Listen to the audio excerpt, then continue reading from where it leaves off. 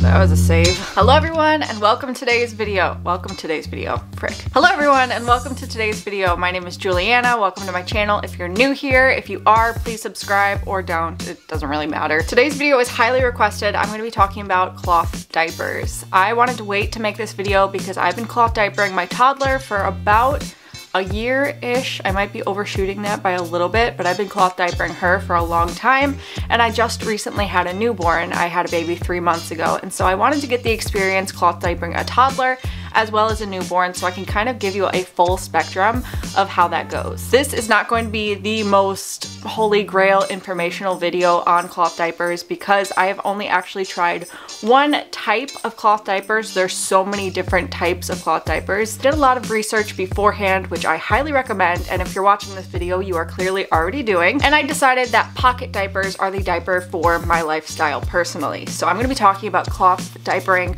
with pocket diapers today. I actually actually have an entire list on my phone of things that I want to talk about in this video. So the first thing I wanted to talk about is how I got into cloth diapering because I was someone who never even considered it when I got pregnant. I did not look into it. I immediately jumped to ew, poop, and I decided not to cloth diaper, which was a huge mistake because I can honestly say cloth diapering has been one of my best financial decisions since having children that I've probably ever made. I am saving so much money cloth diapering and I just want to shout it from the rooftops that you guys should at least consider cloth diapering part of the time, which a lot of people in these cloth diapering videos are very all or nothing. You're either wearing disposable diapers or your kids are wearing disposable diapers or you are cloth diapering. All right, everyone, you might have noticed an outfit change. Uh, I have have kids. They pulled me away from this video and I'm finally finishing it now like a week later. So back to what I was saying. When I got into cloth diapering, I did not go into it like throw away all my disposables and switch directly to cloth diapers. It does not have to be an all or nothing overnight decision. In fact, when I got started with cloth diapers, I started with a pack of about six diapers, which is not enough diapers to exclusively cloth diaper. So once those diapers were dirty, I switched back to disposables and I saved six diapers from a landfill and saved myself from spending money on replacing six diapers over and over and over again. And then I kind of just did it that way for a while. I didn't go out and buy 20 or so cloth diapers not knowing whether or not I was going to like it and whether or not it was going to work for my lifestyle. And so I just started small and kind of tested the waters and saw if it was for me and that is something I highly suggest doing. Now as I said before, the main thing that was keeping me away from cloth diapering in the first place was my fear fear of touching poop. I thought it would be a lot messier than it is, which is why I'm going to introduce you to something very cool. It is the biodegradable diaper liner. I don't see a lot of people talk about these because honestly poop isn't that big of an issue with cloth diapering without these, but if you want to avoid poop in general, these are life-changing. The internet Amazon, the reviews, and the description of this product says that it's biodegradable, which means it will not sit in a landfill. And what happens with this is obviously it looks like a dryer sheet. You put this over your kid's cloth diaper, the pee goes through it, and it catches solids. So when you're changing your kid's diaper, you just take the liner with the poop in it and you throw it away, or the reviews and description actually says that this is flushable. I don't totally, I don't really trust that, and I don't want to screw up the blah, blah, blah, I don't want to screw up the plumbing on the house, um, so I just throw these away like I would with a disposable diaper. So diaper liners, they're life-changing, they're cheap, and it comes in a huge roll like this, and I've had this for, I want to say like six months or so, and I have not run out. And I don't use these all the time. When you're diapering a toddler, you kind of realize that they get on a pooping schedule. Your toddler isn't like a newborn, they don't poop all day long, so they kind of just go once, and so once your kid has pooped for the day, you kind of don't have to use these liners anymore. So that's another plus side of cloth diapering. It is not as messy as you would think it is. Now, as for poop without the liners, it's not really all that that difficult. So when you're cloth diapering a newborn, the internet says, and I'm saying the internet says because I'm not an expert, I didn't come up with these theories or anything, but the internet says that newborn poop, when they are exclusively breastfed, is actually water soluble. So you can actually throw a diaper with newborn poop on it in a washing machine without scraping it off in a toilet or anything and it will just dissolve. So you do a rinse and spin before you do the actual wash so you're not washing your diaper in poopy water and it's supposedly okay for your washing machine.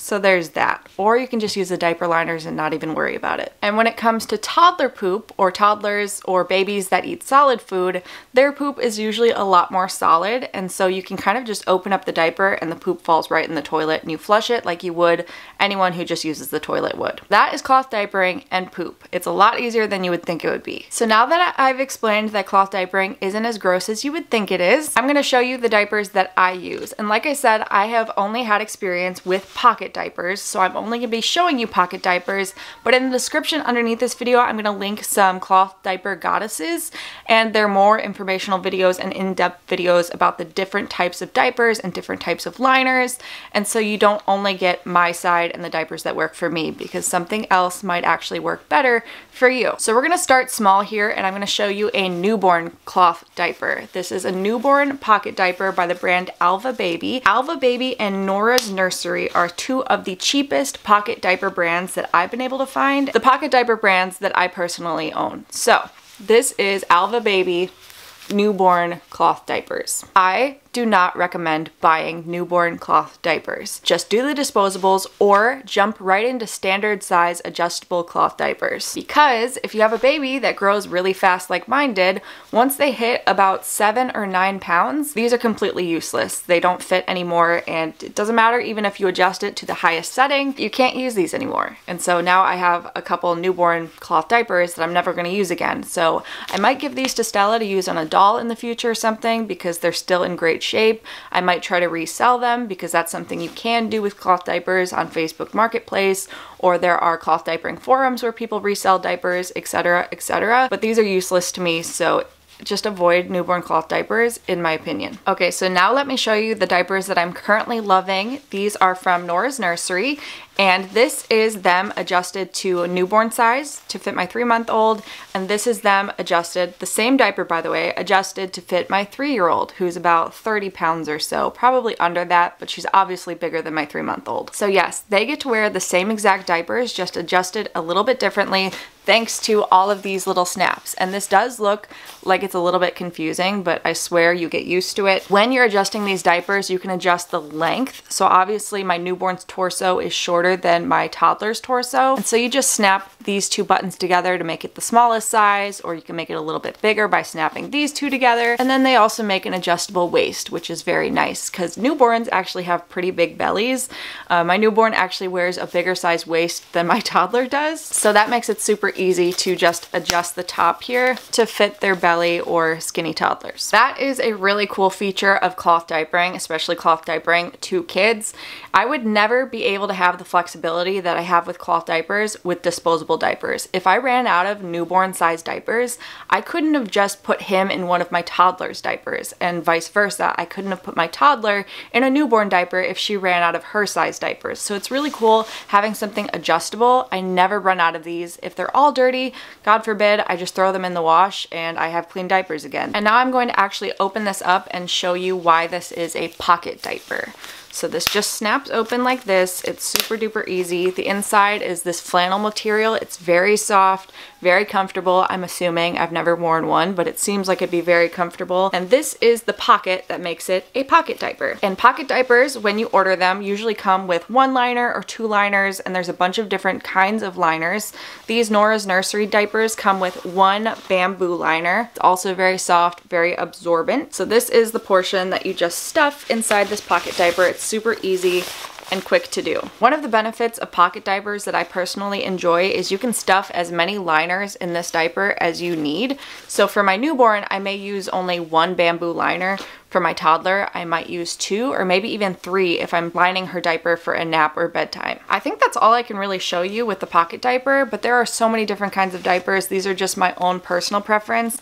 They make all-in-one diapers that have liners that are sewn into the diaper. They make Velcro closed diapers that don't have all these adjustable snaps. They make diaper covers that you kind of just fold up yourself and then they have like little snaps that you have to adjust. That seems complicated to me, so I picked what I think is the simplest option and the option that I prefer and recommend. But like I said, I'll have all of the different videos linked down below of people going through every single type of diaper. I don't have that experience to share with you guys, so definitely research down below if you're looking to get into the diapers. Okay, so now we are going to get into the care of cloth diapers. So like I said, I will normally put a disposable liner on here. This catches the solids, and so if this had poop in it, you take this, you throw it away, you flush it, whatever you feel comfortable with. As for this portion, the only messy part of cloth diapering is you do have to remove the liner that has pee on it before you throw it in the washing machine. Otherwise, it's not gonna get fully clean and it's not gonna be fully dried either. So when I have a diaper that has been peed on, I just pull out the liner real quick, I throw it in the center portion, fold the diaper up like this, and then I always have one of these wet bags, either hanging on door handles throughout the house on all of the bedrooms that the kids are in, as well as the laundry room door, and then sometimes if I'm going out with cloth diapers and I'm not using disposables, which sometimes I do, depending on how long we're gonna be out for, I throw a wet bag in my purse. It's super easy to put your dry diapers in the front compartment and then put your wet diapers in the center portion and it locks in any stink, pee, smells, leakage, stuff like that. So it sounds really gross, but I just carry a wet bag with me and you throw the diapers in here until you're ready to wash them. As for washing cloth diapers, I think depending on who you're watching and what their lifestyle is like, everyone kind of has a different routine. There are some super hippie crunchy moms who make their own laundry detergent and they only line dry their diapers and they don't use their dryer. Um, maybe they hand wash their diapers in a stream or something and that's the way they like to do it. Some people only leave their diapers out in the sun to dry. I like to do that in the summer, um, especially since the sun is a natural bleach and it avoids all staining. But in the winter, that's obviously not an option for me. So what I personally do is when I have a full wet bag of diapers, I throw them in the washing machine and I'll first run a rinse and spin. That's basically just when you have water and no detergent and it just literally does exactly what it says. It rinses and it spins. And then I do the regular wash cycle with regular Tide detergent. That is a strong enough detergent to get all of the pee molecules and stuff out of your diapers and really disinfect and clean. And then when you run your diapers through the dryer, you cannot use a fabric sheet or whatever it's called, a laundry sheet, a dryer sheet, because those can actually make your liners repel liquids, which means your diapers are not going to be absorbent and the pee is going to find a way out of the diaper and you don't want that. That's all I really have to say about washing cloth diapers because that is all there is to it when it comes to my personal cloth diapering washing routine. A lot of people are going to be different and it really depends on a couple different factors on what works best for you. What kind of detergent do you want to use?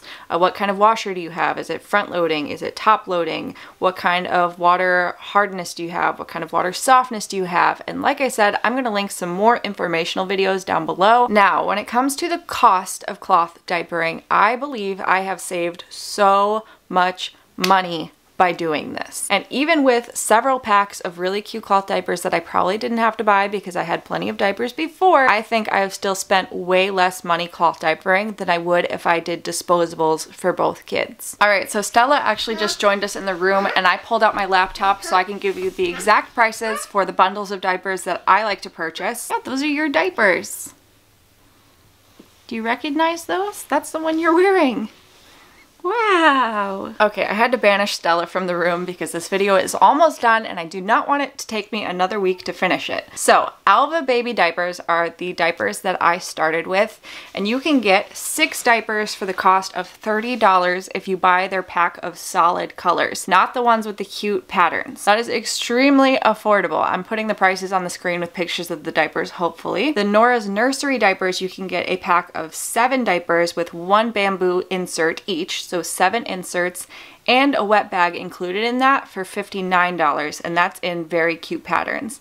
I personally like the designs and patterns and colors of Nora's Nurseries better. All of the diapers that I've talked about in today's video as well as the disposable liners are going to be linked in the description underneath this video and you may be wondering how many diapers you need, two cloth diaper, one kid or two kids and I highly recommend if you're still using disposables to count how many disposables you go through in a day and that'll give you a vague idea of, or actually a pretty good idea of how many diapers you're going to need throughout the day. You also have to consider that your kid has to wear a diaper while you're doing laundry. So think about how many diapers it's going to take for them to get through a load of laundry if you're really down to the line when it comes to having as many diapers as you need, if that makes any sense. Something you definitely have to take into consideration before cloth diapering is how busy your lifestyle is, and that will really determine how many diapers you need as well. A stay-at-home mom who has all the time, uh, I shouldn't say all the time in the world, because if you're a stay-at-home mom, you know that we don't have all the time in the world to just do laundry all day long, but we do usually end up doing a ton of laundry anyway. So what I'm saying is if you're a stay-at-home mom and have access to a washing machine, then you may need less diapers than someone who is really on the go and works outside the house and lives a very active lifestyle where you can't do laundry every day. I think that I personally have about 30 cloth diapers for two kids, like I said, and I probably do laundry every day, maybe every other day. Usually every day just because I try to stay on top of it and I don't ever want to be in the situation where I have the kids in the bathtub while I'm doing laundry because we're out of diapers. And so I find that 30 is just enough for us. The upfront cost of buying 30 or more cloth diapers may seem like a lot and it may not seem like you're saving money right away, but when you look at the price of a box of disposable diapers, like I have pulled up on my laptop right now, a box of 180 little snuggle little snugglers huggy diapers goes for $48 on Amazon, and that is $48 that's going to be peed and pooped on and that you're never going to see again and you're going to replace over and over and over and over. You can get a pack of six Alva baby diapers for about 30 bucks that you can use over and over and over, possibly for multiple children and possibly even resell after you've used them and get some of your money back. But it's really up to you. This video wasn't meant to persuade anyone to cloth diaper. It's just me saying some of the benefits that I've found and the ways that I've found that it fits in with my lifestyle. So hopefully you guys enjoyed this video, found it a little bit informational. I'm going to have a ton more links and information in the description down below. If you have any questions, feel free to message me on any of my social media, my Instagram. My YouTube doesn't usually have comments, but I usually will post the thumbnail thumbnail from each video with comments underneath it that we can comment on and chat on. And I might do a follow-up video if I have enough questions or things that I left out on accident. So thank you guys so much for watching and I will see you in the next one.